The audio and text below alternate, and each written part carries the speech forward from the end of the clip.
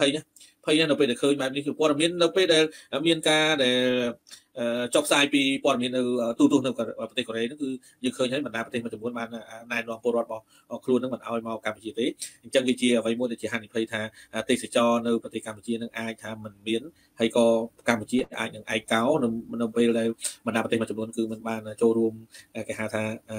មកទស្សនកិច្ច មកមើលមកលេងអីចឹងហើយក៏តាក់ទងជាមួយនឹងអាជីវកម្មនៃការរកស៊ីកិច្ចសហប្រតិបត្តិការមួយចំនួនក៏បណ្ដាប្រទេសមួយចំនួនក៏មិនហ៊ានមករកស៊ីជាមួយនឹងខ្មែរដែរនេះជាអ្វីដែលលោកហ៊ុនសែនគាត់ភ័យលោកហ៊ុនម៉ាណែតគាត់ភ័យហើយហើយហើយហើយមានបងប្អូនរបស់យើងគាត់ថានៅពីខែទៀតប្រទេសកម្ពុជាយើងខ្លាចជាប្រទេសអ្នកមានហើយមិនដឹងថាមានតាមវិធីណាទេអញ្ចឹងអ្វីដែលលោកហ៊ុនម៉ាណែតនិយាយនឹងដូចជាប្រជាបឋិតមែនតើទៅលើពលរដ្ឋខ្មែរគិតថាពលរដ្ឋខ្មែរល្ងងមែនតើណាអ្វីដែលលោកហ៊ុនម៉ាណែតនិយាយមកដូចជាក្មេងដូចទៅចេញពីសាលាមកហើយមិននិយាយនិយាយនិយាយមកដូចតែក្មេងយើងមនុស្សនៅប្រទេសកម្ពុជានឹងជាមនុស្សមិនមិនស្គាល់សខ្មៅ10 20ណានិយាយចេញមកដូចថាមើលតែដូចរបៀបថាដូចថាយើងថាមនុស្សនិយាយជាមួយមនុស្សឈួតក៏ក៏នៅតែដឹងខ្លះដែរនិយាយបែបនេះជាអ្វីមួយដែលយើងទាំងអស់គ្នាបងប្អូនស្ដាប់ទៅមើលពីខែទៀតប្រទេសខ្លះជាអ្នកមានអាចទៅរួចដែរទេបើនិយាយពី Ambusive ហ្នឹងមិនដឹងជាសរសេរពាក្យហ្នឹងប្រហែលខ្សែទេវាមិនអាចទៅរួចទេ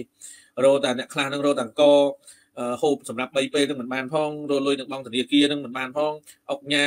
ហើយនឹងគ្រូជោគជ័យមួយចំនួននឹងវ៉ាន់ក ដែលតាក់ទងជាមួយនឹងពួកដែលគាត់ចាញ់បោកពួកគាត់នឹងទៀមទីឲ្យសំណងសងវិញនឹងមិនទាន់រួចរួនហ៎ហើយដល់ណាប្រទេសខ្លះជាតិមាននៅពីខែទៀតហើយមានបងប្អូនចំនួនគាត់លើកពីកំ pl ែងមកណាថាអូលែងលែងលំបាកទៀតហើយលែងធ្វើស្រែហត់ព្រោះដោយសារពីខែទៀតខ្លះជាប្រទេសមានឆ្នាំ2025ខ្លះជាប្រទេសមានឥឡូវខ្ញុំសូមចំណាប់អារម្មណ៍ពីបងមេជារាតកតងជាមួយនឹងការស្នើសុំរបស់បងប្អូនពលករបងប្អូនខ្មែរយើងនៅក្រៅប្រទេសដែលគាត់ធ្វើបាតកម្មប្រឆាំង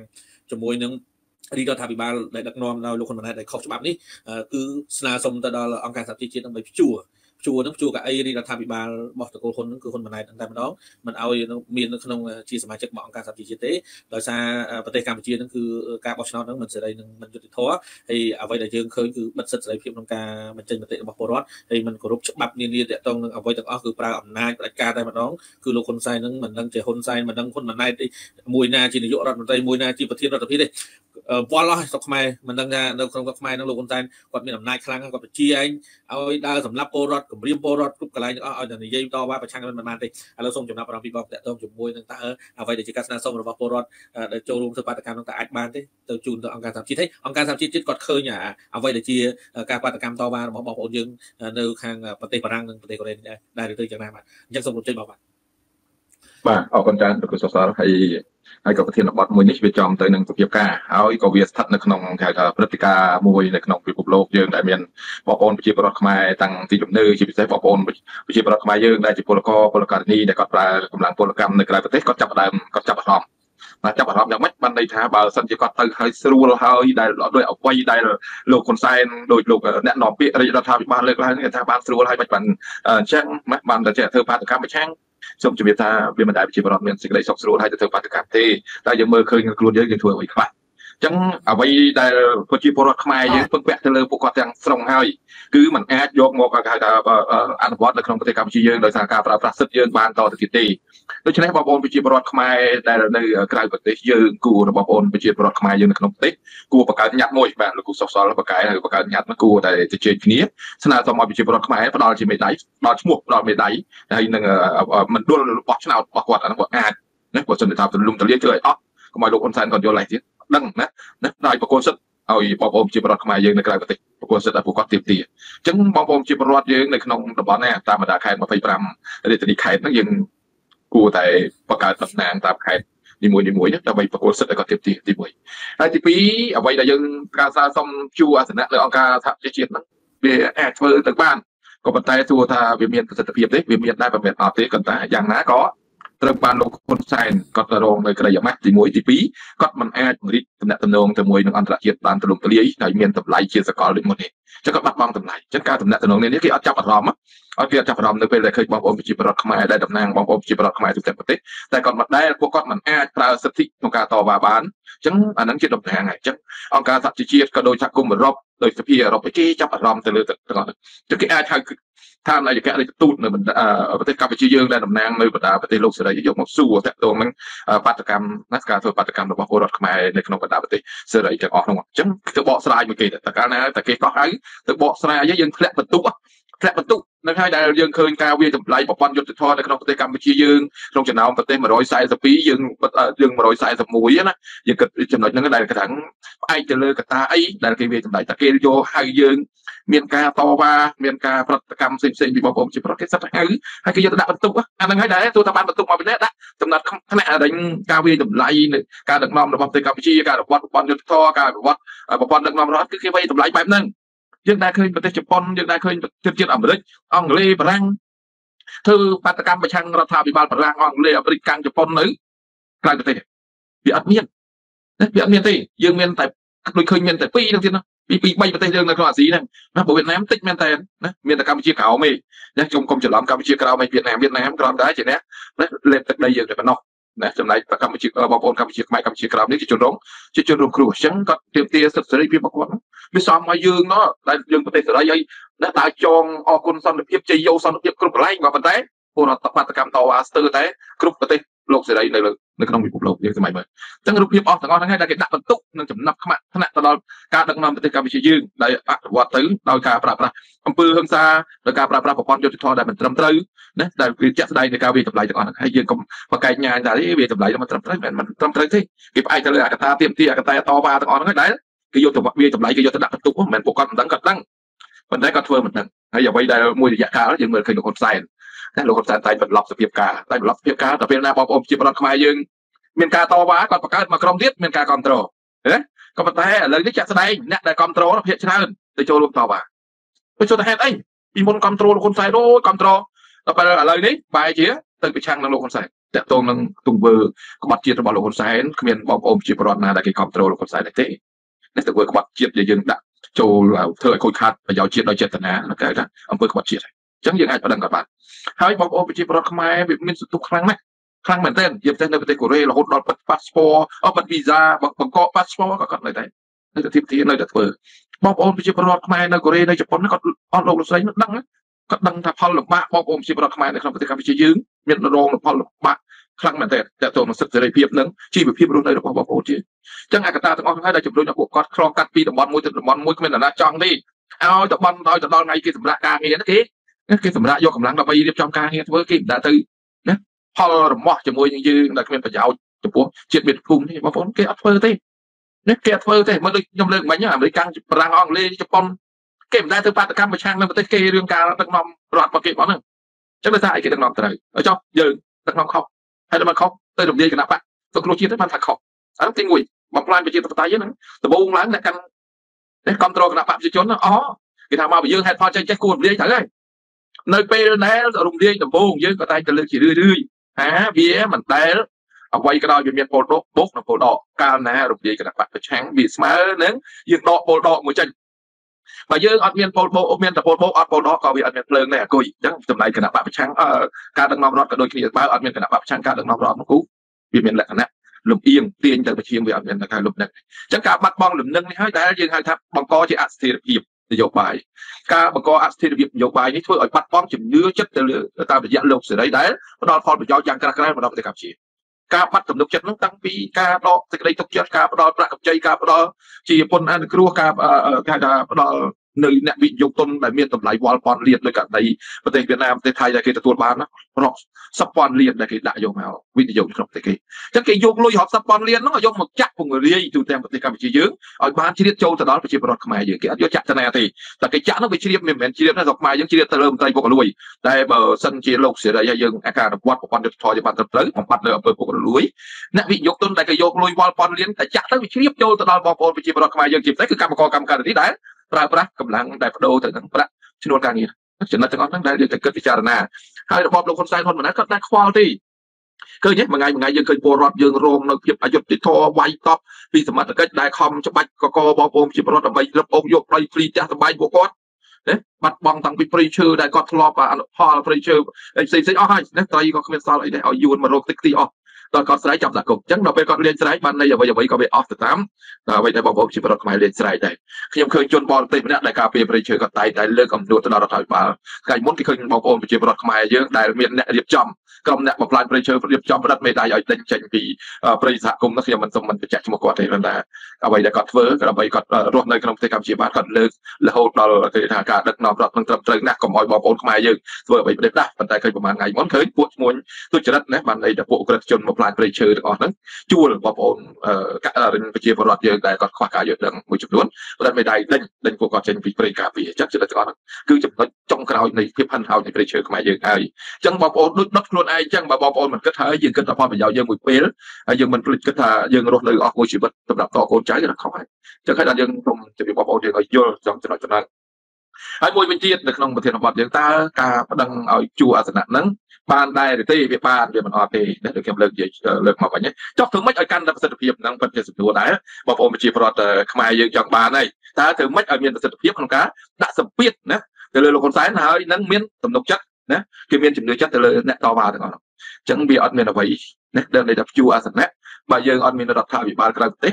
គេពិបាកនឹងព្យួរតិចអញ្ចឹងបានន័យថាយើងមិនអាចប្រកួតប្រជែងក្នុងប្រទេសបានយើងត្រូវប្រកួតប្រជែងនៅក្រៅប្រទេសអញ្ចឹងបងប្អូននៅកូរ៉េជប៉ុនថៃកាណាដាអូស្ត្រាលីអាមេរិកអង់គ្លេសទាំងអស់នោះគាត់អាច ព្រោះអីរចនាសម្ព័ន្ធមានទូទាំងពិភពលោកគេរដ្ឋាភិបាលក្រៅប្រទេសគេមិនចាំបាច់ទៅបង្កើតនៅក្នុងប្រទេសកម្ពុជាទេសមាជិកភាពរបស់គេគេមានរួចស្រេចជាពិសេសគឺគណៈបកសង្គ្រោះជាតិទៅហើយចឹងយើងរៀបតែប្រព័ន្ធដឹកនាំនឹងទៅកាលណាតែយើងរៀបចំប្រព័ន្ធដឹកនាំទៅមិនមែនយើងចង់ប្រឆាំងនឹងរដ្ឋាភិបាលហ៊ុនសែនទេប៉ុន្តែទង្វើលោកហ៊ុនសែនគាត់អត់លេងប៉ុន្តែគាត់ចេះទៅទៅគាត់អត់ខ្វល់ហើយតវ៉ាអីតវ៉ាទៅអញខ្វល់ដាក់ទៅទៀតគេរិញដកពន្ធគ្រោះដាក់តនកម្មសេដ្ឋកិច្ចអត់ជាក្បាលហ៊ុនសែនទេចឹងយន្តការយើងកាលណាតែយើងជំរុញចឹង ផុសផុលឡើងឲ្យបង្កើតទៅជាគេថារដ្ឋាភិបាលក្រៅប្រទេសមួយគេហៅថារដ្ឋាភិបាលនៃប្រទេសឬក្រៅប្រទេសតែតែយើងដាក់ឈ្មោះហើយរចនាសម្ព័ន្ធយើងមានស្រាប់ហើយណាបងប្អូនជនជាតិខ្មែរថាអីបង្កើតមិនបានមែនទេនេះជប៉ុនមានលក្ខខណ្ឌមួយជាមួយខ្មែរមិនអាចបង្កើតចលនាលើស្ដីជប៉ុនបានទេឲ្យទៅលោកសេរីណាលោកសេរីហើយយើងមានលក្ខខណ្ឌគ្រប់គ្រាន់ដូចជាករណីគណៈបកសង្គ្រោះជាតិអញ្ចឹងណាបានន័យថាតំណាងរបស់គាត់លោកសុកសលខ្លាចទៅជាតំណាងមួយផ្លែតក្នុងបើសិនជាលោកសំរងស៊ីគាត់មាន បានន័យថាគាត់មានផុសតាងដាក់បន្ទុកថាគាត់អត់ឲ្យបង្កើតរដ្ឋាភិបាលក្នុងប្រទេសកម្ពុជាបានទេអញ្ចឹងបើបង្កើតក្នុងប្រទេសមិនបានប្រទេសប្រជាធិបតេយ្យសេរីគេគ្រប់គ្រងឲ្យយើងបង្កើតខាងក្រៅចឹងក្រោយពីបង្កើតរដ្ឋាភិបាលក្រៅប្រទេសហ្នឹងហើយយន្តការមួយគេហៅថាយន្តការក្នុងការរកដំណោះស្រាយដាក់សម្ពាធទៅលើរដ្ឋាភិបាលដឹកនាំដោយលោកហ៊ុនម៉ាណែតនិងនៅពីក្រោយរបស់លោកហ៊ុនសែនតែទៅលោកការងារគឺអត់អាចទៅមករួចទេចឹងអ្វីអ្វីក៏កាំងដែរករណីនៅប្រទេសកុមារជាដើមណា អញ្ចឹងយើងមើលឃើញហើយចំណុចខ្លាំងរបស់យើងត្រូវធ្វើម៉េចបង្កើតរដ្ឋាភិបាលក្រៅប្រទេសឲ្យបានសិនទី1ហើយបងប្អូនជនជាតិខ្មែរយើងខ្លះតើអីកាលណាធ្វើអញ្ចឹងទៅវាមិនអាចប្រមូលគ្នាបានអត់អាចប្រមូលនៅពេលដែលយើងមិនចង់ប្រមូលបើយើងប្រមូលបានន័យថារចនាសម្ព័ន្ធអត់ប្របាក់ឲ្យធ្វើទេអញ្ចឹងសូមបងប្អូនជនជាតិខ្មែរដែរធ្វើម៉េចឲ្យបងប្អូនយើងឈប់ឆ្លោះគ្នាណាមើលទៅឃើញគណៈបកប្រឆាំងណាហាក់បីដូចបែកបាក់គ្នាមើលមុខមិនត្រង់ខ្ញុំជម្រាបបងប្អូនជនជាតិថា ពេលណាមនុស្សយើងបងប្អូនយើងបង្កើតកាយចានក្នុងរាវរឿងអីវាលឺក្រេកក្រក់បើយើងបង្កប់ទៅវានៅតែលឺក៏ប៉ុន្តែទោះចានវាបែកទេបិទតែសម្លេងខ្លះវាលឺមើលទៅមិនគួរឲ្យចង់ស្ដាប់ប៉ុន្តែมันបញ្ហាទេណាគឺมันបញ្ហាទេរចនាសម្ព័ន្ធគេដឹងហើយកាលណាតែយើងគេនវាយើងយើងរស់នៅច្បុកច្បល់មិនដឹងណាកម្មការងារអីហើយម្នាក់ម្នាក់តាំងខ្លួនឯងមេពីទៅពីដីនៅពេលដែលក្នុងរចនាសម្ព័ន្ធគាត់មិនមានទូនីតិក៏មានដែរអញ្ចឹងមិនមែនលើកថាទូនីតិយកមកធ្វើឲ្យរាំងស្ទះមិនមែនទេ ទូនីតិនេះក្នុងការរៀបចំរចនាសម្ព័ន្ធរចនាសម្ព័ន្ធគឺតកតងនឹងទូនីតិកញ្ចប់ឈ្មោះដែលយើងមាននៅក្នុងការបោះឆ្នោតអាណត្តិមុន2017យើងយកមកទាំងអស់យើងយកមកទាំងអស់អូចង់អ្នកចោះចូលយើងដកជួសជួសជុលជួសជុលដែលកន្លែងដែលខូចខាតហើយយើងនឹងក្នុងរយៈពេលមិនដល់3ខែទេអញ្ចឹងរដ្ឋាភិបាលក្រៅប្រទេសមួយនឹងកើតទេ ហើយចូលទៅបានលុយណាប្រគេបងប្អូនជារដ្ឋថ្ងៃចិត្តឆ្ងល់ទៅទឹកទៀតខ្ញុំជម្រាបបងប្អូនខ្ញុំជាថាលុយវាមិនបាក់បកកើតទេតែបានន័យថាបើឆន្ទៈយើងស្រឡាញ់ជាតិមាតុភូមិគេគ្រាន់តែដំណើរការទៅគេគេដំណើរការរលូនហើយអញ្ចឹងវាអត់បញ្ហាចប់ទៅលើបញ្ហាទាំងអស់នោះទេហើយសំខាន់នោះកាលណាយើងបង្កើតរដ្ឋាភិបាលក្រៅប្រទេសថ្ងៃណា អន្តរជាតិគេទទួលស្គាល់ថ្ងៃនោះដោយសារអីហេតុផលរបស់យើងមិនអាចបង្កើតនៅក្នុងប្រទេសបានចឹងគេអនុញ្ញាតហើយចឹងបើសិនជាយើងបង្កើតបានក្នុងប្រទេសហើយយើងមកកើតក្រៅនោះគេឲ្យគេមិនឲ្យទេចឹងដែលសូមជម្រាបបងប្អូនជនជាតិខ្មែរយើងថាសម្ពាធដាក់ទៅលើលោកហ៊ុនសែនដើម្បីឲ្យព្យូឲ្យអង្គការសហប្រជាជាតិព្យូអាសនៈរបស់រដ្ឋាភិបាលខុសច្បាប់លោកហ៊ុនម៉ាណែតគឺងាយងាយជាទីបំផុតប្រមូលមនុស្សបានប៉ុណ្ណេះយើងមើលសន្ទុះពួកបានន័យថាអន្តរជាតិគេបើកគេក៏លេខមើលឃើញអូរឿងអីនោះគេនៅរឿងអីអូតបាតបាដែលមិនពេញចិត្តនឹងការដឹកនាំរបស់លោកហ៊ុនម៉ាណែត គេធ្វើថាមាននរណាផ្សេងក្រៅពីនោះទេបើយើងអត់មានក៏គេនៅសង្ងំស្ងៀននោះមានរឿងរបស់គេរឿងរបស់យើងចឹងខ្ញុំក៏អបអរទៅដល់ថ្នាក់ដឹកនាំជាគួរគិតចំណុចនឹងដែរយើងក៏ឲ្យបងប្អូនជាប្រដ្ឋខ្មែរគាត់មកតវ៉ាចោលតវ៉ាចោលទូយូរទៅជាសមទៅអ្វីដែលលោកហ៊ុនសែនគាត់ធ្លាប់ធ្វើហើយតវ៉ាយូរយូរសមឆ្លោះគ្នាបាច់បាក់អស់ក៏ប៉ុន្តែបើរចនាសម្ព័ន្ធដាក់មករឹងពឹសរឹងពឹសហើយសកម្មជនគឺគេគ្រប់គ្រងព្រោះអី សូមបញ្ជាក់ថារចនាសម្ព័ន្ធបកគេមិននៅក្រៅអំណាចអស់មួយជីវិតនៅអង្គុយកន្លែងហ្នឹងខ្ញុំបានតែប្រហែលឆ្នាំហ្នឹងខ្ញុំចេញហើយបន្តបន្តគ្នាទៀតតែចំណុចហ្នឹងវាជាឱកាសសម្រាប់មនុស្សចុះមនុស្សយើងចេះមកហើយកាលណាតែយើងអត់បង្កើតរដ្ឋាភិបាលនៃប្រទេសឬក៏រដ្ឋាភិបាលក្រៅប្រទេសមួយហើយយើងចង់ដាក់សម្ពាធទៅឲ្យស្នើសុំឲ្យអង្គការសហជីវជាតិជួអាសនៈវាអត់អាចទៅរួចទេវាអត់អាចមិនថាវាគេគេគាត់ទៅយកចិត្តទុកដាក់ប៉ុន្តែធ្វើឲ្យមានសម្ពាធខ្លាំងគឺវាពិបាក ពិបាកមែនទែនក្នុងការដាក់សម្ពាធទៅលើលោកហ៊ុនសែនហើយក៏ស្នើសុំឲ្យអន្តរជាតិជួអាសនៈនោះវាពិបាកបន្តិចណាប៉ុន្តែគ្រាន់តែគេអាចយកចិត្តទុកដាក់ធ្វើមកហៅទូតមកស្ដីបន្ទោសឬក៏ទស្សនកិច្ចមេដឹកនាំមហាអំណាចទៅប្រទេសកម្ពុជាគេស្នើឲ្យប្រទេសកម្ពុជាមើលណាការដឹកនាំខ្លួនយើងឡើងវិញដែលធ្វើឲ្យប្រជាពលរដ្ឋយើងមិនមានសេចក្តីសុខគ្រប់កន្លែងទាំងអស់រហូតដល់ធ្វើបាតកម្មបង្កជាអសន្តិសុខទៅដល់ប្រទេសគេជាដើមគេជួនដំណឹងហ្នឹងហើយហើយការផ្ដល់ជំនួយជាសោតក៏គេមើលឃើញសន្ទុះរបស់បងប្អូនប្រជាពលរដ្ឋយើងទៅការតវ៉ាណាទៅការបវ៉ាហេតុអី បានប្រទេសកូរ៉េផុសផុលជាងគេណាដូចជាថៃនៅជប៉ុនជប៉ុនផុសផុលដែរតែដូចជាមិនសូវដូចកូរ៉េហេមកពីពលករខ្មែរយើងនៅជប៉ុនតិចហ្នឹងមែនទេ ណាប៉ុន្តែចំណុចពិសេសនោះមួយរយៈគេបង្កកគ្រប់គ្នាហើយគេលេងឲ្យជំនួយកូរ៉េឯហ្នឹងទៅឲ្យជំនួយឯណាទោះបីលក្ខខណ្ឌផ្សេងណាមួយក៏ដោយប៉ុន្តែវាឃើញលក្ខខណ្ឌទាំងអស់ហ្នឹងគេបង្កើតចំទៅនឹងដើម្បីដាក់សម្ពាធទៅរដ្ឋាភិបាលកូរ៉េឲ្យបើកភ្នែកមើលការដឹកនាំរបស់រដ្ឋាភិបាលលោកហ៊ុនសែនកុំចេះតែគ្រប់គ្រងនៅដោយអត់ហិតផលដែលមិនបានមើលហើយវិនិច្ឆ័យនៅក្នុងការដឹកនាំរបស់ប្រទេសកម្ពុជាហើយជាពិសេសលុយដែលដល់ដោយរដ្ឋាភិបាលកូរ៉េគឺជាលុយដែលធ្វើឲ្យពលរដ្ឋយើងចិញ្ចៀមធ្វើឲ្យពលរដ្ឋយើងរងគ្រោះធ្វើឲ្យពលរដ្ឋយើងបាត់បង់ផលប្រយោជន៍ធ្វើឲ្យពលរដ្ឋយើងប្រត់ប្រាស់នៅរៀបប្រត់ប្រាស់បាត់បង់ ទីលំនៅអីជាដើមយើងមើលឃើញចំណុចទាំងអស់ហ្នឹងដែលគេកើតនៅកូរ៉េគឺមានន័យទៅចឹងដាក់សម្ពាធទៅឲ្យរដ្ឋាភិបាលកូរ៉េណាឲ្យយកចិត្តទុកដាក់មែនទែនក្នុងការផ្ដល់ជំនួយណាមួយដែលมันมันផ្ដល់ផលប្រយោជន៍ដល់ដំណើរការប្រជាធិបតេយ្យនៅប្រទេសកម្ពុជាចឹងជាការដាក់សម្ពាធទៅដល់រដ្ឋាភិបាលកូរ៉េផងដែរចឹងបារាំងក៏ដូចគ្នាដែរណាបារាំងក៏គេជួយឆ្កាស់ឲ្យដំណើរការកិច្ចព្រមព្រៀងសន្តិភាពទីក្រុងប៉ារីសដែលមានទីក្រុងប៉ារីសហ្នឹងហើយដែលជាឈ្មោះមួយនៃកិច្ចព្រមព្រៀងសន្តិភាពចឹងបណ្ដាប្រទេសនានាក៏ជាយន្តការមួយដើម្បីដាក់ឆ្កាស់ណាដល់រដ្ឋដែលជាសមាជិកនៃកិច្ចព្រមព្រៀងសន្តិភាពទីក្រុងប៉ារីសផងដែរចឹងចំណុចទាំងអស់ហ្នឹងគឺមានសារៈសំខាន់មានអត់សំខាន់ទេណាអរគុណច្រើនលោកសាស្ត្រ ដល់បងមែនទែនតែបានលើកពីចំណុចមួយចំនួននៅក្នុងនឹងគឺតកតងជាមួយនឹងអ្វីដែលយើងឃើញទាំងអស់គ្នាបងប្អូនប្រិមិត្តដែលកំពុងតែទស្សនាអឺអញ្ចឹងមានន័យថាជាអ្វីមួយដែលយើងឃើញទាំងអស់គ្នាគឺតកតងជាមួយនឹងការព្យួរណាការព្យួរហើយអ្វីដែលបងប្អូនខ្មែរយើងនៅក្រៅប្រទេសគាត់ គេហៅថាបាតកម្មហ្នឹងគឺប្រឆាំងជាមួយនឹងឲ្យឲ្យរដ្ឋាភិបាលនៃប្រទេសកម្ពុជាហ្នឹងគឺការបោះឆ្នោតហ្នឹងឲ្យសេរីនិងយុត្តិធម៌ហើយអ្វីដែលអ្វីដែលគាត់ពួកគាត់នឹងចង់បានហ្នឹងគឺការដែលចង់ឲ្យគណៈបព្វប្រឆាំងហ្នឹងបានចូលរួមការបោះឆ្នោតនៅនៅក្នុងឆ្នាំបន្ទាប់នេះហើយអ្វីមួយទៀតដែលយើងឃើញហ្នឹងគឺលោកហ៊ុនសែនគាត់ ជាមួយនឹងគណៈបព្វជិជនក៏ដូចជាអ្នកគ្រប់គ្រងរបស់គណៈបព្វជិជនមួយចំនួនហ្នឹងគឺគាត់ថាពួកមកក្តាប់តូចណាបង្កចលាចលនៅក្រៅប្រទេសដែលធ្វើឲ្យមានការគេហៅថាវឹកវរណាតាមពិតមិនមែនមកក្តាប់តូចទេសូមផ្ដាំទៅបងប្អូនអ្នកគ្រប់គ្រងគណៈបព្វជិជនមកមិនមែនក្តាប់តូចទេមានន័យថានៅកូរ៉េដែលធ្វើបាតកម្មហ្នឹង មិនតិចទេច្រើនណាស់គឺទុកទីក្រុងនឹងនៃទីក្រុងតូចធំរបស់កូរ៉េហ្នឹងគឺមកមកអស់ហើយហើយអ្វីដែលយើងទៀតសោតហ្នឹងគឺមានន័យថាពីបណ្ដាប្រទេសមួយចំនួនគាត់ទៅចូលរួមនៅកូរ៉េហ្នឹងច្រើនគួរសមដែរដូចជាគាត់នៅអាមេរិកគាត់នៅកាណាដាគាត់នៅបណ្ដាប្រទេសអឺរ៉ុបមួយចំនួនក៏គាត់ទៅកូរ៉េអ្នកខ្លះគាត់មិនទៅកូរ៉េប៉ុន្តែគាត់ទៅបារាំងអញ្ចឹងមានថានៅកូរ៉េនិងបារាំងហ្នឹងគឺគាត់គេហៅថាច្រើន គឺគាត់សហការគ្នាចែកគ្នាទៅទៅកូរ៉េផងទៅជប៉ុនផងអូទៅកូរ៉េផងទៅខាងផ្នែកខាងអឺរ៉ុបផងអញ្ចឹងអ្វីដែលចង់ពួកគាត់ទៅចង់បាននោះគឺគឺតកតងជាមួយនឹងគណៈកម្មការជាតិរៀបចំការបោះឆ្នោតនោះគឺឲ្យសេរីនិងយុត្តិធម៌ហើយបង្កើតនឹងគឺមានថាគណៈកម្មការជាតិនោះគឺសូមឲ្យមានចំហឯករាជ្យអព្យាក្រឹតសេរីនិងយុត្តិធម៌ដែលដែលទួន ដែលតួជាទីទុកចិត្តពីសំណាក់ដែលប្រជាពលរដ្ឋអានេះគឺជាអ្វីដែលពលរដ្ឋគាត់ចង់បានហើយច្បាប់រៀបចំការបោះឆ្នោតហ្នឹងគឺមានប្រសិទ្ធភាពដោយអនុវត្តឲ្យមានយុត្តិធម៌ក្នុងការចាត់ចែងនិងរៀបចំការបោះឆ្នោតបេក្ខជនដែលជ្រើសរើសហ្នឹងគឺសូមឲ្យមានន័យថាមានគណៈកម្មការរៀបចំការបោះឆ្នោតកុំឲ្យឲ្យតែមានរឿងអាស្រូវបន្តិចដកបេក្ខភាពអីវិញឬក៏តកតងជាមួយនឹងការដែលមានមិនមានឯកសារគ្រប់គ្រាន់ហ្នឹងគឺដកមិនឲ្យចូលរួមការប្រកួតចាញ់នេះជាអ្វីមួយដែលយើងឈឺចាប់ដោយការគណៈបកភ្លើងទៀនអញ្ចឹងមិនមានឯកសារមិនមានសមុดកំណត់ដកគ្នាបាត់អញ្ចឹងមានថាជាអ្វីមួយដែលលោកហ៊ុនសែនគាត់រៀបចំទុកហើយវាមិនដែលគណៈបកភ្លើងទៀនបង្កើតមកយូរណាស់ហើយទៅជាបាត់ចំណុចកំណើតអានឹងគឺជាអ្វីឲ្យក្រសួងមហាផ្ទៃគេទទួលស្គាល់ទៅជាគណៈកម្មការជាតិរៀបចំការបោះឆ្នោតហ្នឹងមិនទទួលហ្នឹងជារឿងមួយដែលយើងគិតថាលោកហ៊ុនសែនគាត់រៀបចំដើម្បីមិនឲ្យមានបពប្រឆាំងចូលរួមការប្រកួតចេះហើយគាត់ថាគណៈបកច្រើនចូលរួមប្រកួតសគណៈបពប្រឆាំងតែសគណៈបកគេហៅថាគណៈបកលំហកំដររោងហ្នឹងអាចកចែមហ្នឹងតែបើសិនជាឲ្យគណៈបពប្រឆាំងអញ្ចឹងតួយ៉ាងនៅក្នុងនៅពេលនេះគឺបើសិនជាយើងអាចថាមានគណៈបកកម្លាំងជាតិ ដែលជាគណៈបកប្រឆាំងមួយដែរក្នុងប្រទេសនៅពេលបច្ចុប្បន្ននេះយើងគិតថាមានបងប្អូនយើងជាអ្នកគ្រប់គ្រងគួរសមដែរដែលយើងអាចថាប្រកួតប្រជែងក្នុងពេលខាងមុខនេះហើយអ្វីមួយទៀតដែលយើងចាប់អារម្មណ៍នោះគឺតកតងជាមួយនឹងរបបដឹកនាំបច្ចុប្បន្ននោះគឺអ្វីដែលយើងចង់ឃើញគឺតកតងនឹងអង្គើពុករលួយនោះគឺជាកត្តាមួយសំខាន់ណាជាអត្ថប្រយោជន៍ទី1ហើយអង្គើពុករលួយនោះបើសិនជារាជរដ្ឋាភិបាលលោកហ៊ុនសែនគាត់អាចថាស្ដារនៅគេថាអង្គើពុករលួយនឹងបានណា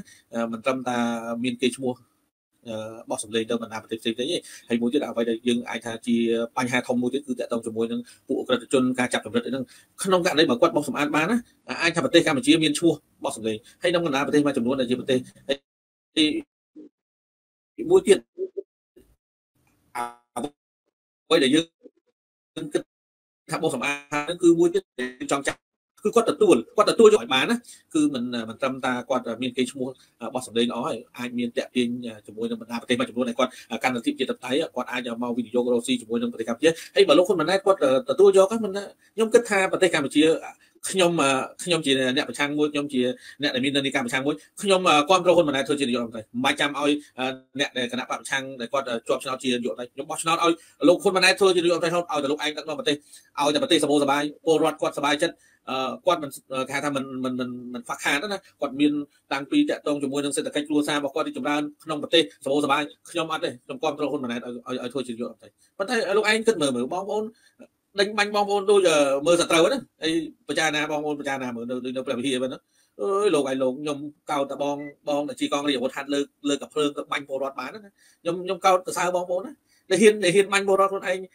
រត់ឯងហើយហើយគាត់ជាខ្មែរគាត់រស់នៅលើទឹកដីខ្មែរចោលគាត់ថាជាជាជាអ្នកដែលរស់នៅលើដីខុសច្បាប់ខ្ញុំអស្ចារ្យខ្ញុំសរសើរអញ្ចឹងមានថារបបនេះបើសិនជាក្នុងករណី មិនដែលថាលោកហ៊ុនម៉ាណែតឬក៏លោកហ៊ុនសែនមិនដឹងទេខ្ញុំនិយាយចេះព្រោះដោយសាររចនាសម្ព័ន្ធនៃការគ្រប់គ្រងតាមគេហៅថាវិមជ្ឈការណាពីខាងលើមកក្រោមគឺខ្សែបន្តតែមួយអញ្ចឹងជាអ្វីមួយដែលយើងឃើញឥឡូវតើតើជាមួយនឹងបញ្ហាមួយនេះខ្ញុំអាចដឹងថាចលនារបស់ប្រជាពលរដ្ឋនៅបណ្ដាក្រៅប្រទេសគឺគាត់មានសន្ទុះខ្លាំងមែនទែនហើយអ្វីដែលយើងឃើញអាចដាក់សម្ពាធទៅលើរាជរដ្ឋាភិបាលលោកហ៊ុនម៉ាណែតដែរហើយលោកហ៊ុនសែនក៏ដូចគ្នាដែរគាត់កំពុងតែភ័យនៅពេលដែលមានចលនាមហាជនក្រៅប្រទេសនឹងកាន់តែខ្លាំង វាអាចប៉ះពាល់ដល់គេហៅថាទឹកចិត្តរបស់បងប្អូនយើងក្នុងប្រទេសដែរវាជាឆន្ទៈមួយជំរុញឲ្យពួកគាត់នឹងមានឆន្ទៈកាន់តែខ្លាំងណាមិនមិនអាចថាមិនមិនហ៊ានបាច់ពេលនេះតែពេលមុខខាងមុខនឹងអាចមានអានេះជាអ្វីដែលខ្ញុំអាចគិតមុខឥឡូវខ្ញុំចង់សំសួរបងមួយសំណួរតកតងជាមួយនឹងអ្វីដែលយើងឃើញតកតងនឹងបណ្ដាប្រទេសដែលកាន់តែជាតបតៃដូចជាសហរដ្ឋអាមេរិកឬក៏ខាងអឺរ៉ុបអីហ្នឹងណាបងតាមធម្មតានៅពេលដែលប្រទេសយើងគោរពនៅគេហៅថាបំបត្តិអំពើពុករលួយក៏ដូចជាគោរពនៅ គោលការណ៍នៃការបោះឆ្នោតឲ្យសេរីនិងយុត្តិធម៌ឯករាជ្យអញ្ចឹងណាបងគិតថាបណ្ដាប្រទេសផ្សេងផ្សេងគាត់អាចមានន័យថាគាត់ដើរតាមនៅគោលការណ៍របស់លទ្ធិប្រជាធិបតេយ្យណាបងគិតថាអាចថាប្រទេសកម្ពុជានឹងទទួលបានថាថាការឧបត្ថម្ភផ្នែកផ្នែកគេថាការរៀបចំការបោះឆ្នោតក៏ដូចជាអ្វីអ្វីទាំងអស់មកកម្ពុជាទេប្រសិនបើក្នុងករណីគាត់បត់គាត់ដើរតាមកន្លងលទ្ធិប្រជាធិបតេយ្យគេបើកសំហសិទ្ធិសេរីភាពឲ្យបងប្អូនពលរដ្ឋយើងបញ្ចេញមតិគាត់មិនបិទ ឲ្យគណៈបពប្រឆាំងនៅក្រៅទេឲ្យចូលរួមក្នុងការបោះឆ្នោតហើយសេរីនឹងយុត្តិធម៌បងគិតថាបណ្ដាប្រទេសដែលជាប្រទេសសេរីឬក៏បណ្ដាប្រទេសដែលគាត់មានគោលការណ៍លទ្ធិប្រជាធិបតេយ្យគាត់អាចជួយជួយក្នុងការដំណើរការបោះឆ្នោតក៏ដូចជួយជួយផ្នែកអនាគតមួយចំនួនក្នុងដំណើរការដែលរៀបចំការបោះឆ្នោតខាងមុខនេះទេបងបើសិននៅក្នុងករណីកម្ពុជាគាត់នឹងគ្រប់នៅគោលការណ៍ប្រជាធិបតេយ្យពិតបាទសូមជម្រាបបងបាទអរគុណតាមពិតទៅវាអត់ត្រូវពឹងអន្តរជាតិទេ បើលោកហ៊ុនសែនគាត់មានឆន្ទៈក្នុងការឲ្យមានការប្រកួតប្រជែងត្រឹមត្រូវ តាមស្តង់ដារអន្តរជាតិក៏យើងធ្វើបានហើយនៅក្នុងឆ្នាំ2017វាអត់មានវិវាទអ្វីតទៅសោះគឺវាអត់មានវិវាទទេការទៀមទាវាតិចតួចបំផុតរហូតដល់គេឲ្យនិយមន័យថាបោះឆ្នោតនៅល្អបំផុតនៅក្នុងប្រទេសកម្ពុជាក្នុងការប្រវត្តិបោះឆ្នោតអញ្ចឹងបើន័យថាបើន័យថាប្រវត្តិបោះឆ្នោតប្រទេសកម្ពុជាគឺឆ្នាំ2017ល្អជាទីបំផុតតើកត្តាដែលគេវាតម្លៃថាល្អវាកត្តាអ្វីខ្លះទី1គេវាតម្លៃទៅលើការរៀបចំបោះឆ្នោតបានល្អ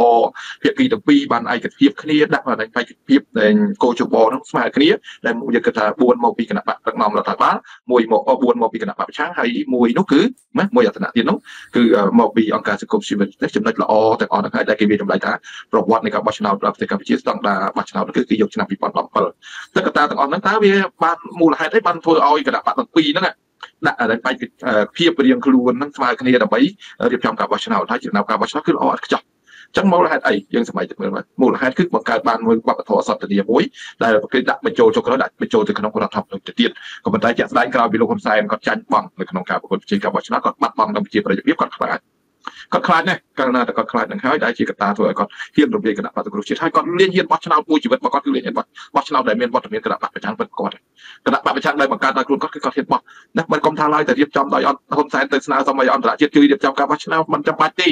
ព្រោះអី មិនខ្ញុំមិនចង់ពឹងអន្តរជាតិទេព្រោះហ៊ុនសែនគាត់ខ្លាចបំផុតគឺអន្តរជាតិធម្មតាយើងត្រូវចាំអន្តរជាតិដែល មករៀបចំការបោះឆ្នោតវាមានហៅថាអង្គការសហជីវជាតិដែលតទៅនឹងការរៀបចំកិច្ចការជំនាញកិច្ចការងារបោះឆ្នោតនិងក្រុមប្រឹក្សាសន្តិសុខអ្នកដែលធានាទៅដល់សន្តិសុខក្នុងការដំណើរការបោះឆ្នោតអញ្ចឹងក្រុមប្រឹក្សាសន្តិសុខបងប្អូនជនជាតិយើងដឹងហើយអ្នកកាន់ជំនាញអង្គការសហជីវជាតិដែលគាត់មានកម្លាំងយោធាអញ្ចឹងកម្លាំងយោធាសួរតលោកហ៊ុនសែនគាត់ព្រមគាត់ព្រមឲ្យអង្គការសហជីវជាតិរៀបចំទេគាត់អត់អាចទេគាត់អត់អាចទេបានន័យថាគាត់កលិចកលុចគាត់ខូចគាត់មិនហ៊ានទេបើគាត់កលិចកលុចនៅពេលដែលមានវត្តមានអង្គការសហជីវជាតិនៅទីនោះគាត់នឹងមានបញ្ហាចុះឆ្នាំ2000ឲ្យឆ្នាំ1993សិចមិនបានលោកហ៊ុនសែនអត់មានបញ្ហាតាមដោយសារការគិតថាគិតខុសទៅលើលោកហ៊ុនសែនថាលោកហ៊ុនសែននឹងកែខ្លួនណាដល់ចុងក្រោយរហូតដល់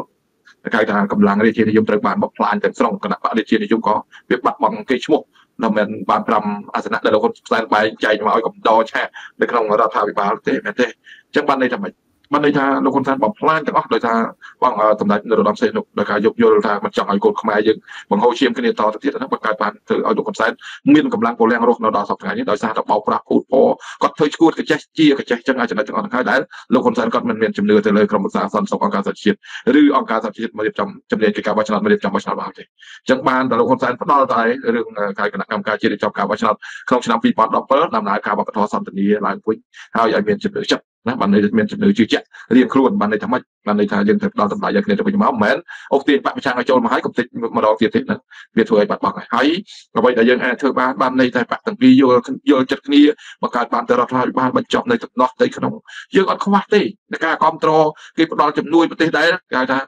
ទៅការប្រទេសដែរទៅផ្ដាប់អភិវឌ្ឍចឹងគឺគេជួយច្រើនណា ណាមិនមែនដូចលោកហ៊ុនម៉ាណែតគាត់កាត់បន្ថយភាពក្រីក្រតាមរយៈចាប់បង្ខំពលរដ្ឋក្រីក្រឲ្យឆ្លើយតបជាអ្នកមានអានោះវាទៅរួចទេវាទៅរួចទេនឹងមានបញ្ហាស្រ័យខ្លះអត់ខ្លះប៉ុន្តែយើងមើលទៅណាពីចាស់គេយឹមគេដើមអស់ហើយពលរដ្ឋកំពុងតែធ្លាក់ខ្លួនក្រីក្រមើលឃើញជីវភាពលោកហ៊ុនសែនគាត់ហូបបាយសំបីទៅហូបបាយផុតបង្ហោះអួតគេណាព្រមជាងផឹកពូធនូយ៉ាងណាក៏គាត់បង្ហាញឲ្យបងប្អូនជនជាតិយើងជឿចាប់ណា យើងដែលមានឃើញនេះមើលឃើញបារ៉ាអូបាម៉ាអីគាត់ហូបបាយគ្រួសារគាត់ថតផុសនេះបាយជាប់មាត់អីមានអ្នកមកបេះចេញកូនមកបេះចេញមកអីហ្នឹងមើលទៅដូចស្មុកគ្រូបើលាក់ស្មុកគ្រូមិនគេអត់ឲ្យតម្លៃទេធ្វើបែបហ្នឹងណាបើយើងមិនចាំបាច់ទៅសម្ដែងធ្វើចឹងទេយើងធ្វើឲ្យពួកគាត់មានសេចក្តីសុខណាបានសេចក្តីសុខចម្រុងចម្រើនទៅវាល្អហើយបើចាំទៅសម្ដែងឃើញហូបចុកធ្វើមានធ្វើបានឃើញជុំគ្រួសារសบายគេមិនផ្ដល់តម្លៃឲ្យទេយើងមើលឃើញរូបភាពណា នេះការហូបបាយរបស់ហ៊ុនសែនហើយការហូបបាយរបស់កម្មករយើងមើលទៅប៉ុណ្ណឹងដឹងហើយថាតែយើងមើលមេដឹកនាំទៅគ្រប់លោកណាទៅហូបបាយឲ្យថតទៅគ្រួសារយកទៅបង្ហាញគេវាអត់មានចឹងជារឿងមួយដែលអសលធម៌សម្រាប់មេដឹកនាំកុំយកគំរូតាមកុំយកគំរូយើងបាត់បង់តម្លៃដោយសារមេដឹកនាំហ្នឹងឯងមេដឹកនាំតំណាងជាតិមួយទាំងមូលហើយយើងទៅធ្វើអញ្ចឹងណាពលរដ្ឋណាចំណាក់ស្រុកសពសារពើការរៀបចំណាប្រកួតប្រជែងគ្នាប្រកួតប្រជែងអង្គញាឥឡូវអង្គញារៀងស្ងប់តិចហើយណាអត់ប៉ុន្តែនៅតែមានតែតាំងជាបន្តបន្ត ណាអាចចំណុចទាំងអស់ហ្នឹងហើយដែលធ្វើឲ្យគណៈបព្វជិជនចេះតែថយថយថយអត់ពលហើយមិនតែប៉ុណ្ណោះនៅក្នុងស្ថាប័នរាល់ថ្ងៃនេះកំពុងតែកម្ចាត់គ្នាហើយចឹងស្ថាប័ននានាតែកម្ចាត់ចោលហេតុអីបានមានអ្នកសួរខ្ញុំថាហេតុអីបានគណៈបព្វជិជនគេធ្វើបែបហ្នឹងបានន័យថាដកមន្ត្រីដែលអសកម្មដែលសោកលុយពីមុនមកហើយក៏មិនដែរសោកលុយក៏មិនមានសកម្មភាពទេគាត់នៅតែផ្ទះទេចឹងដល់ពេលនៅផ្ទះទៅគាត់យកលេសហ្នឹងដើម្បីដកមន្ត្រីទាំងអស់ហ្នឹងហើយដកមិនមែនយកដកឲ្យតែឲ្យមន្ត្រីស្អប់ស្អប់ឡើងទេដកគេចំហទៅចោលណាឲ្យលុយថាម្ដងទៀតគេឲ្យឡើងថាថ្មីទៅអស់មកអាណត្តិ ឪពុកមកកូនអស់ពីកូនទៅបងអស់ពីបងទៅប្អូនទៅក៏វាអាចណារៀបចំដឹកនាំបែបហ្នឹងជារៀងរហូតចឹងសួរតែយើងសង្ឃឹមថាប្រទេសយើងមានការវិវត្តទេយើងទៅរួចទីយើងមានភាពក្រីក្រខ្លោបសារនឹងឯងពលរដ្ឋចំណាក់ស្រុកជំពាក់បំណុលខ្លាយទៅពលរដ្ឋដែលសម្បូរទៅដោយអនុក្រជនបាននេះអ្នកអត់ចេះសយើងមើលឃើញរូបភាពទៅផឹកស្ប៊ីយេបានអរង្វាន់ប្រចាំខែហ្នឹងយើងមើលឃើញរូបភាពអាក្រក់ឃើញរូបភាពអាក្រក់ជាទីបំផុតអញ្ចឹងយើងមិនយើងមិនគ្រប់គ្រងទេហើយអ្វីដែលបងប្អូនជាប្រដ្ឋខ្មែរលោកដឹងណាគឺចាប់ដើមការពង្វក់ ពង្វក់នឹងហើយដែលធ្វើឲ្យប្រទេសរបស់យើងកាន់ថមថយអតិពលណាកើតថមថយតម្លៃជាអន្តរជាតិណាឃើញគេណាគេមើលងាយខ្មែរលក្ខណៈគេមើលងាយខ្មែរប៉ះពាល់ទាំងអស់វាមិនប៉ះពាល់ដែរលោកហ៊ុនសែនតែមួយទេចាំមិនន័យថាលោកហ៊ុនសែនគាត់នាំឲ្យពលរដ្ឋខ្មែរយើងនឹងប៉ះពាល់ទៅដល់កិត្តិយសប្រកិត្តិនាមណាបើយើងមើលឃើញតែយើងមើលឃើញទាំងអស់គ្នាអញ្ចឹងបានន័យថាការដំណើរការប្រជាធិបតេយ្យនៅប្រទេសកម្ពុជាអត់ប្រមាថទេដំណើរការទី1ដែលខ្ញុំនិយាយតាមពីដដែលតាក់ទងទៅដំណើរការវប្បធម៌សន្តិនិកទៅណាបើកលំហសេរីភាពសារព័ត៌មានបើកលំហសេរីភាពក្នុងការទាមសិទ្ធិ សេរីភាពមកវិញទាំងអស់ទៅណាគឺវាដំណើរការឲ្យជំនួយអំណោយនឹងពន្ធអនុគ្រោះមកតាមនោះអញ្ចឹងលុយរាប់ពាន់លានគេនឹងចាក់បញ្ចូលនៅក្នុងប្រទេសកម្ពុជាយើងវាក្នុងរយៈពេលខ្លីទេតិចតិចពលរដ្ឋមួយណាគេបើកគេផ្ដល់និយាយពីរួមគេផ្ដល់អធិភាពក្នុងការអភិវឌ្ឍប្រទេសនោះខ្លាំងជាងគេក្នុងតំបន់អាស៊ីកម្ពុជាយើងក៏ប៉ុន្តែយើងអត់ចេះចាប់យកឱកាស ណាគាត់អត់ចេះចាប់យកឱកាសធ្វើឲ្យបាត់បង់ផលប្រយោជន៍រាប់ពាន់លានដុល្លារក្នុងមួយឆ្នាំឆ្នាំដោយការរំលាយនៃបំផ្លាញនៃប្រជាធិបតេយ្យការដោយការរំលាយនៃគណៈបក្សប្រជាជាតិគឺចំណុចតែមួយនឹងគត់ដែលធ្វើឲ្យប្រជាពលរដ្ឋយើងហិនហោចខ្លោចផ្សារណាបាទនៃប្រទេសជាតិហិនហោចពលរដ្ឋខ្លោចផ្សារហ្នឹងនឹងឲ្យដែលធ្វើដោយការដឹកនាំដោយខ្វះការយល់ដឹងដោយខ្វះការពិចារណាយល់ទៅតាមពួកអុយអុយនេះមិនសុទ្ធតែបណ្ឌិតទេយើងមើលមើលដូចបណ្ឌិតសង្គ្រងសតតាមចេញមកណាដឹកប៉ែនបុនណាយើងមើលឃើញអូយមើលទៅដូចតែស្មាត់ទុកអានេះគេឲ្យដូចតែស្វាចាប់ពាក់គាត់ចឹងគាត់អត់ដែលត្រឡប់ អត់នៅតែគាត់ត្រឡប់តែអ្នកសារព័ត៌មានដល់គេឲ្យមកដឹកនាំធ្វើរដ្ឋមន្ត្រីប្រតិភូអមនាយករដ្ឋមន្ត្រីគាត់សូពាក្យរដ្ឋមន្ត្រីយកមកពាក់គាត់ដូចស្វាពាក់គាត់ចឹងវាយើងធ្វើទៅមិនរួចទេទៅមិនរួចទេណាមិនពួកយើងខ្ញុំបើទៅបំរើលោកហ៊ុនសែនអត់មែនទេនៅតែមានអ្នកផ្ដាល់លួងលោមដែររាល់ថ្ងៃនៅតែមានខ្ញុំសូមបញ្ជាក់ណាមិនមែនអត់ទេ នៅតែលងលោមឲ្យទូនាទីមិនឲ្យទូចឲ្យអាធំតែមកហួសពីសមត្ថភាពយើងទៅទៀតណាវាអត់មានសមត្ថភាពទេយើងមិនន័យថាយើងមិនខ្វះពលរដ្ឋទេដរាបណាបើពលរដ្ឋយើងមិនបានសិទ្ធិសេរីភាពមកវិញពួកយើងនៅតែទីនៅតែតវ៉ាយើងមិនលុកនឹងការឲ្យផលប្រយោជន៍ឲ្យអំណាចទូនាទីពីលោកហ៊ុនសែនទេគឺដាច់ខាត់មិនទិញពួកក្បាលពួកយើងខ្ញុំបាទទេបាទអរគុណច្រើនបាទសូមស្ដីអរគុណដល់បងអញ្ចឹងអ្វីដែលយើងឃើញខ្ញុំសូមចូលរួមយោបល់បន្តិចចាស់តទៅជាមួយនឹងគេហៅថាការដែល គេហៅថាដែលលទ្ធិប្រជាធិបតេយ្យមានពិតណាការហ្នឹងគឺនៅកាលឆ្នាំ93ឬក៏បានលើជាមួយបងចំនួនបងមីតារាមួយថាសំខាន់កុសលតែចាំថាឲ្យបងមីតារាទោះបីគណៈបកប្រឆាំងខ្លាំងទៅបីទៅទោះបីគណៈបកប្រឆាំងខ្លាំងប៉ុណ្ណាក៏ដោយនៅក្នុងប្រទេសគឺអត់អាចទេអញ្ចឹងយន្តការជៀសមិនផុតពីការបង្កើតរដ្ឋាភិបាលនៃប្រទេសទេបើយើងមិនបង្កើតទេគឺទៅរួចទេជំរុញឲ្យសួរថាបង្កើតធ្វើម៉េចបានប្រទេសនេះគេអត់គ្រប់គ្រងមិនមែនគេអត់គ្រប់គ្រងទេបើគេអត់គ្រប់គ្រងយើងទៅធ្វើបាតកម្មនៅកូរ៉េគេ វាយចាប់ដាក់គុកអស់ហើយមែនទេលោកមេតារាមែនគេចាប់ដាក់គុកអស់ហើយអញ្ចឹងយើងទៅបង្កើតដល់នោះលោកខ្ញុំគ្រប់គ្រងកំណត់លោកមេតារាខាងប៉ុណ្ណាបងលាយដដែលនោះទៅដល់នោះវាធ្វើឲ្យខូចប្រយោជន៍ធ្វើឲ្យពលរដ្ឋយើងរៀងបងប្អូនដែលគ្រប់គ្រងនយោបាយរៀងបងងាកទៅលាយវាយចាប់ដាក់គុកយូរទៅគណៈបាក់ឆាងធម្មតាអ្នកនយោបាយនៅដាក់ផ្ទៃនេះគេផ្ដល់តម្លៃអ្នកនយោបាយប្រទេសកម្ពុជាយើងភ្នែកទៅក្រោយណាយើងធ្វើនយោបាយមើលសួរគ្នាមិនស្រួលស្រួលហ្នឹងអញ្ចឹងវាបាត់បង់ណាបាត់បង់នៅគេហៅសេរីភាពផ្លូវចិត្តអា បាត់បង់សេរីភាពផ្លូវចិត្តដែលធ្វើឲ្យប្រជាគេថាបាត់បង់ជំនឿទៅលើអ្នកនយោបាយអញ្ចឹងចំណុចទាំងអស់ហ្នឹងហើយដែលធ្វើឲ្យយើងបាត់បង់នៅជំនឿចិត្តពីប្រជាពលរដ្ឋថាយើងមិនអាចទឹកនាំបានល្អទេហើយរៀននឹងរដ្ឋបែកក្នុងដាក់គ្នាជាចំណុចអវិជ្ជមានមួយដែលធ្វើឲ្យយើងចូលមុខនឹងការដួលរលំនៃសេដ្ឋកិច្ចហើយបាទអរគុណច្រើនសូម បាទសូមអរគុណបងហ្នឹងហើយអញ្ចឹងអ្វីដែលបងបានលើកឡើងហ្នឹងគឺខ្ញុំអាចថានិយាយតាក់ទងជាមួយនឹងលទ្ធិប្រជាធិបតេយ្យពិតណាដែលកម្ពុជាមានហ្នឹងគឺត្រូវបានបំផ្លាញដោយលោកហ៊ុនសែនហ្នឹងគឺកាលឆ្នាំ93យើងឃើញថាពលឺនៃលទ្ធិប្រជាធិបតេយ្យមានណាកាលប្រជាពលរដ្ឋរបស់យើងទៅបោះឆ្នោតច្រើនណាបង93អូខេចចាសម័យអ៊ុនតាក់ហ្នឹងណាហើយដល់ហើយដោយសារដែលមានការផ្លាស់ប្ដូរប្រទេសហ្នឹងមានការចម្រើនប្រជាធិបតេយ្យហើយយើងឃើញការឆ្នោតលើកហ្នឹងគឺគណៈបកដែលចូលរួមការបោះឆ្នោតហ្នឹងដែលជាប់ឆ្នោតហ្នឹងដែលគឺតកតងនឹងយុទ្ធរដ្ឋទី1ណាព្រះនរោត្តមរណរដ្ឋនឹងជាយុទ្ធរដ្ឋទី2ហ្នឹងលោកហ៊ុនសែនលោកហ៊ុនសែននឹងតោងទៅជាប់ឯណាទី2ខ្ញុំខ្ញុំតាំងពីខ្ញុំធ្លាប់តាំងពីដឹងក្តីមករហូតដល់បច្ចុប្បន្ននេះអាយុជាង40ហ្នឹងហើយជិត40ជាង40ហើយខ្ញុំមិនដែលឃើញប្រទេសណាមានយុទ្ធរដ្ឋទី2ទេតែតែឃើញប្រទេសកម្ពុជាហ្នឹងហើយវាដូចជាចម្លែកក្នុងខ្លួនណាដែលមានលោក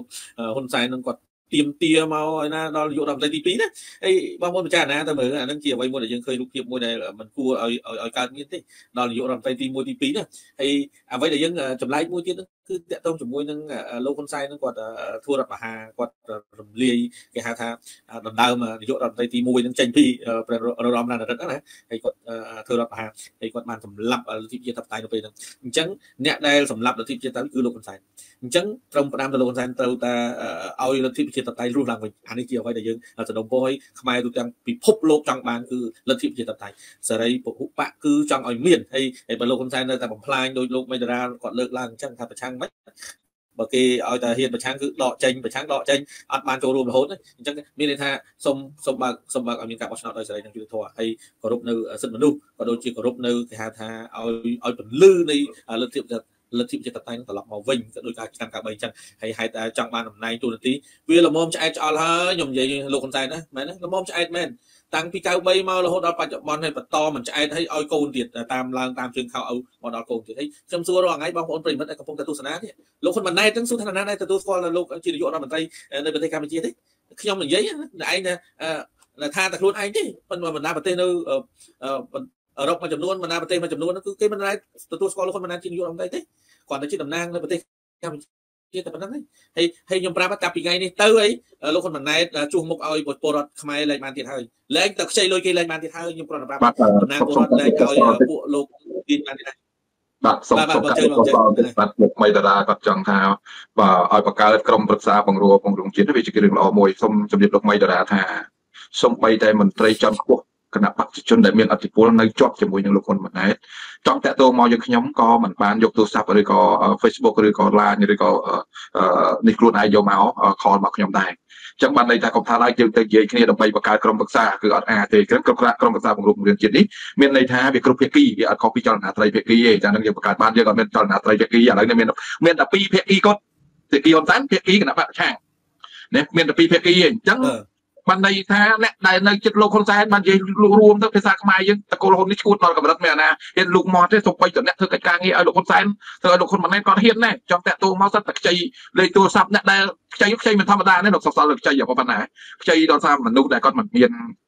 គេស្គាល់បានន័យថាគាត់នៅក្នុងគេស្គាល់ត្រឹមកម្រិតភូមិមិនទៅស្គាល់ឈ្មោះ Facebook មិនទៀតណាគាត់គាត់ឲ្យខ្ចីគាត់ឆ្លមកខ្ញុំចាំភ្ញាក់ដែរណាដល់ពេលឃើញអ្នកបម្រើហ៊ុនសែនហ៊ុនម៉ាណែតគាត់ខ្លាច រហូតដល់តាក់ទងមកគណៈបព្វឆាំងប៉ុន្តែខ្ញុំឆ្ងល់ចេះបងមិនតារាខ្ញុំឆ្ងល់ទៅវិញតែគាត់ទេណាបានអ្នកទេទៅតាក់ទងអឺសកម្មជនបព្វឆាំងពីក្រៅប្រទេសចូលរួមមួយគាត់គាត់ទេដោយលេខគាត់ស្គាល់ឬក៏គាត់ខ្ចីគេទេមកយើងខ្ញុំទៅខ្ញុំដែរអានេះគាត់ជាចម្ងល់របស់ខ្ញុំមួយទេប៉ុន្តែក្រុមប្រឹក្សាប្រគ្រប់គ្រប់ជាតិរបស់បងនោះគ្មាននរណាហ៊ានបង្កើតទេបើមិនមានផ្ដល់អសញ្ញាឲ្យរៀបចំពីលោកហ៊ុនសែនទៅលោកហ៊ុនម៉ាណែតគឺគ្មាននរណាហ៊ានបង្កើតទេគ្មាននរណាមួយដែលយកហៅថាជីវិតនយោបាយអាជីវកម្មនិងជីវិតរស់នៅរបស់ខ្លួនទៅដូរជាមួយនឹង ការពលី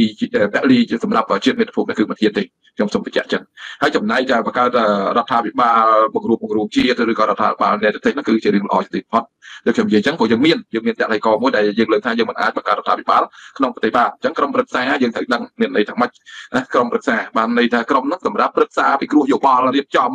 ណាសម្រាប់រៀបចំទាំងអស់ទាំងចឹងត្រូវដឹងរចនាសម្ព័ន្ធនៃក្រុមប្រឹក្សាតែគេរៀបចំដើម្បីអីគេថាប្រឹក្សាពិគ្រោះនឹងឲ្យបង្កើតជាយោបល់ចុះបើភាគីមួយមិនចូលរួមយើងទៅបង្កើតអានោះក៏វាអត់មានកម្លាំងមិនបង្កើតបានទេបានប៉ុន្តែវាមានកម្លាំងណាបើបង្កើតតែគ្នាយើងនឹងវាអត់កម្លាំងទេចាបើរដ្ឋាភិបាលក្រៅទេអត់ទេអត់មានអត់ទេដោយសារអីស្ពាតមានហើយមានហ៊ុនតែនហ៊ុនម៉ាណែតលើកលើកឡើងកុំឲ្យមានការបែកបាក់ជាតិក៏យើងឃើញទឹកភ្នែកតែលិញអលមមិនមែនលោកហ៊ុនម៉ាណែតងាយចោលទឹកភ្នែកឲ្យណៃមើលទេអាស្ពាតទាំងអស់ហ្នឹងឯងដែលយើងត្រូវគិតថាអូចំណុចហ្នឹងត្រូវត្រូវត្រូវយើងត្រូវរុញឲ្យខ្លាំង បានន័យថាសម្ពាធដែលយើងដាក់ទាំងអស់គ្នាហ្នឹងហើយបានន័យថារដ្ឋាភិបាលប្រទេសឬរដ្ឋាភិបាលពង្រួមរួមឬរដ្ឋាភិបាលនៃប្រទេសចឹងចំណុចទាំងអស់ហ្នឹងយើងត្រូវលើកយកមកទៅជែកទៅថ្នាក់ដឹកនាំនៃគណៈបព្វឆាក៏អាចធ្វើបានហើយហើយយើងឃើញអ្វីដែលការរៀបចំបង្កើតនោះយូរដែរហើយប៉ុន្តែវាហាក់បីដូចតែមិនអត់ចេញសោះដូចវាមានរាំងស្ទះអ្វីមួយអញ្ចឹងសូមជំរុញថាវាអត់ត្រូវរាំងស្ទះអីទេដំណើរការយើងយកកញ្ចប់របស់គណៈបក្សសង្គ្រោះជាតិចាស់យកមកជួសជុលសម្រាប់ដាក់ដំណើរការអញ្ចឹងបាននៅសមាជិកភាពដែលរស់នៅក្នុងប្រទេសគាត់នឹងមិនពិបាកទេ ណាគាត់មិនមែនដល់ថ្នាក់បាត់សិទ្ធិលើរងឈុនចេញក្រៅប្រទេសបានយកគាត់មកមិនកើតបើគេដល់គាត់ចេញលោកកឹមសុខាចេញរួចយើងយកគាត់មិនកើតហ្នឹងយើងត្រូវដាក់ទុកមិនមិនរងចាំមិនរងចាំឲ្យគាត់ដំណើរការឡើងវិញគាត់រួចទេអញ្ចឹងយើងត្រូវរងចាំទេអ្នកដែលអាចធ្វើកិច្ចការងារបានយើងត្រូវតែធ្វើទៅក្នុងនយោបាយវាអត់ខុសទេ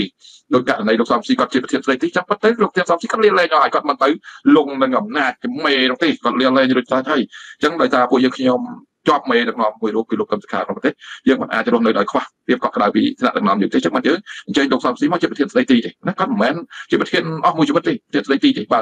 ណាដល់លោកកឹមសុខាមានសិទ្ធិសេរីភាពនេះលោកគល់សិទ្ធិសេរីភាពជាថ្នាក់ដឹកនាំដែលជាប្រធានគណៈបកទៅលោកកឹមសុខាវិញហើយណាហើយចំណុចទាំងអស់ហ្នឹងហើយចំណែកបងរដ្ឋារដ្ឋាក៏សំដួររបស់គាត់បងក៏បងជួយសួរថាតើពេលណាដែលយើងបង្កើតបានតឡាការឯករាជ្យអាហ្នឹងគឺជាយន្តការមួយតឡាការឯករាជ្យនៅពេលដែលយើងបង្កើតរដ្ឋាភិបាល